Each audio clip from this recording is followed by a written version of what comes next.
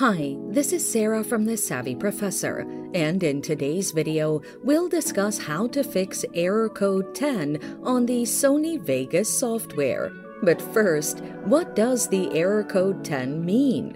Error code 10 indicates a problem with the online connection of the program. The following are some of the causes of the error interruptive firewalls, or antivirus software, too many active programs in the background, outdated Wi Fi drivers. Now, let's look at the best solutions to fix the error. Check your antivirus software.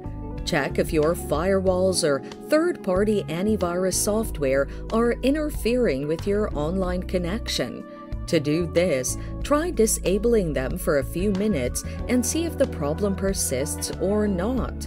Close unnecessary programs running in the background. Ensure you don't have too many programs that are using too much internet or disk space running in the background.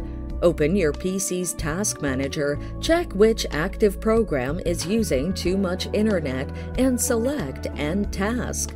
Closing them will help unfreeze your Sony Vegas program and resolve the error code 10. Update your Wi Fi drivers. If you use a Wi Fi modem, you'll need to update your Wi Fi drivers for a seamless internet connection.